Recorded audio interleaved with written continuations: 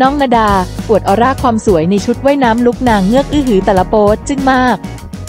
ฉายแววความสวยมาเต็มสำหรับน้องณดาปุณดาลูกสาวคนโตวัย 12 ขวบของคุณแม่กบสุวรรณกับพ่อบรู๊คดนุพรที่ยิ่งโตก็ยิ่งเผยออร่าความน่ารักสดใสขึ้นเรื่อยๆ ไม่แปลกใจเลยที่คุณพ่อบรู๊คจะออกปากห่วงลูกสาวหนักมากล่าสุดในอินสตาแกรมส่วนตัวแม่กบได้โพสต์เซตภาพน้องณดาในลุคนางเงือกวัยใสเล่นน้ำริมสระพร้อมเขียนแคปชั่นแซวลูกสาวว่า